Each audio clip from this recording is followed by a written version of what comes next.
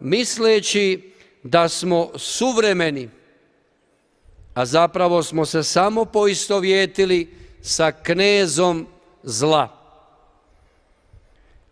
Tako još jučer, pa recimo tako i oni koji sebe smatraju ozbiljnim medijima ili portalima, donose primjer jedne žene starice od stotinu i deset godina.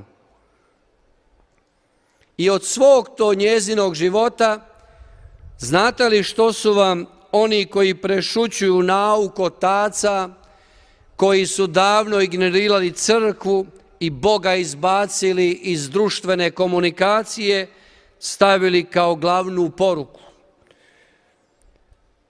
Iznose kao da je ta starica kazala, dugo sam živjela zato što nisam imala djecu, nego pse.